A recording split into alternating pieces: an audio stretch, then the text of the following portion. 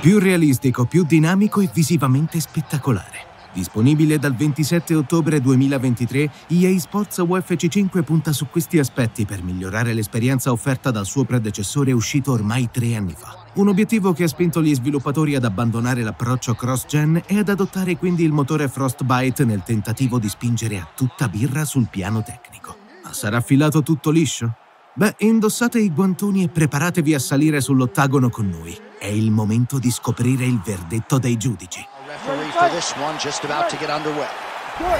Sul fronte del gameplay, complice anche un'attesa superiore alla media per la sua uscita dopo l'episodio precedente, in EA Sports UFC 5 troviamo diversi elementi inediti. Si tratta di aspetti che si concentrano anche sulla resa visiva dell'esperienza, anch'essa funzionale a ciò che accade all'interno dell'ottagono. Gli sviluppatori hanno infatti lavorato tantissimo sulle animazioni accompagnate da una maggiore quantità di sangue e da una rappresentazione più dettagliata e realistica delle ferite che è possibile procurarsi, dalle tumefazioni alle lacerazioni. Un fattore questo che ha delle concrete ripercussioni durante il match. A seconda della parte del corpo danneggiata potremo infatti avere problemi a muoverci, a difenderci e ad affondare i colpi, e con interi aspetti della nostra strategia che risulteranno così compromessi. Sempre poi che non intervenga il medico della federazione che di fronte a ferite giudicate troppo gravi potrebbe anche decidere di far sospendere l'incontro. Un elemento tutto sommato naturale per uno sport di combattimento si trasforma così in una meccanica di gameplay, sebbene l'intervento del medico e l'annuncio di sospensione del match appunto si verifichino abbastanza di rado. Ben diverso è invece il discorso relativo agli atterramenti, ai clinch e ad altre situazioni simili. Il team ha infatti completamente ridisegnato queste circostanze, semplificandole e rendendole più dinamiche così da evitare tempi morti e macchinosità. Basta infatti agire sullo stick analogico destro e sui dorsali per cambiare posizione dopo un takedown e puntare magari a una sottomissione. Sia chiaro, la sensazione di un divario fra l'azione in piedi e quella a tappeto è ancora evidente, allo stesso modo ci sono situazioni in cui si rimane a terra più di quanto si desideri nel tentativo di sfuggire alla presa del nostro avversario. Tuttavia i miglioramenti rispetto al passato sono concreti e con un po' di pratica è possibile padroneggiare bene anche questi meccanismi. Per il resto il combattimento in piedi vanta una buona resa degli impatti e pur non essendo dinamico e veloce come avremmo voluto, regala comunque parecchie soddisfazioni. Dal punto di vista dei contenuti, invece, la parola d'ordine sembra essere conservazione, al netto ovviamente di qualche spunto inedito come ad esempio la carriera online. E si tratta di una novità più che benvenuta che aggiunge spessore e progressione ad una modalità spesso confinata ai singoli incontri multiplayer, peccato solo per il frequente lag.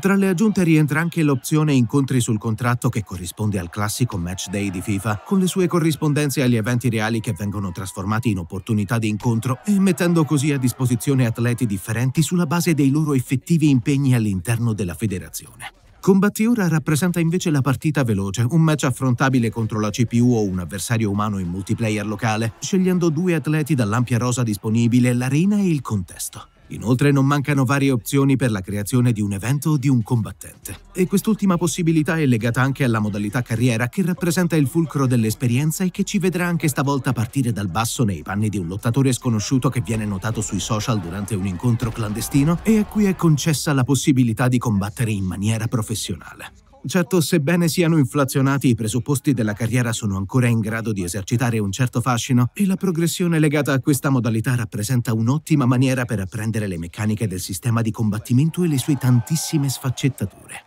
Il problema risiede più che altro nella ripetitività delle varie fasi. Si firma un contratto, si accetta una sfida, ci si prepara per settimane fra allenamenti, studio dell'avversario, sparring e promozioni, si affronta il match e poi si utilizzano i punti esperienza per il potenziamento del personaggio. E poi? Beh, poi si riparte da capo. L'abbandono dell'approccio cross-gen e il passaggio al motore grafico Frostbite sono decisioni che il team di sviluppo ha preso per poter proporre un'esperienza visiva all'avanguardia. E in fin dei conti il contesto lo consente. Al centro della scena ci sono infatti soltanto due personaggi ed è su di essi che vengono concentrate tutte le risorse. Come già accennato, le animazioni sono state aumentate rispetto al passato ed è nei vari raccordi tra di esse che è possibile percepire il grande lavoro degli sviluppatori, ovvero quando gli arti si intrecciano e un colpo non va a segno perché trova nel corpo stesso dell'avversario un ostacolo. E tutto questo senza neppure una compenetrazione poligonale. Niente da dire se non chapeau. Sul piano della regia poi i replay cinematografici sono impressionanti, mentre in termini puramente tecnici molto dipende dalle luci e dalle condizioni fisiche dei lottatori sulla cui pelle scorre sangue e sudore, entrambi gestiti da una fisica realistica che prevede anche il trasferimento di gocce da un corpo all'altro. Inoltre le entrate in scena dei combattenti e il pubblico sono davvero spettacolari, ma bisogna ammettere che in frangenti simili il frame rate accusa qualche colpo di troppo e scende sotto i 60 fps che sono soliti accompagnare l'azione durante il match vero e proprio. Poco da dire invece sul comparto audio. La telecronaca in inglese è di discreta fattura così come lo è la colonna sonora, ma non sono presenti acuti capaci di far gridare al miracolo. Pur senza grandissime novità, EA Sports UFC 5 non mancherà di entusiasmare i fan delle MMA e degli sport di combattimento in generale. E lo farà grazie alle novità introdotte sul piano del gameplay e a un comparto tecnico sostanzialmente migliorato. Un potenziamento questo che dona spettacolarità ad ogni sequenza, ma che soprattutto si mette al servizio dell'esperienza e delle sue meccaniche attraverso un nuovo sistema di animazioni e ad una maggiore enfasi sul realismo. Voi cosa ne pensate? Dopo tre anni di attesa era questo ciò che vi aspettavate dal rientro in scena della serie? Diteci la vostra nei commenti e non dimenticate di iscrivervi al canale per non perdervi nessuna novità sulle produzioni a marchio Electronic Arts. Qui a fianco trovate ora alcuni suggerimenti interessanti. Alla prossima!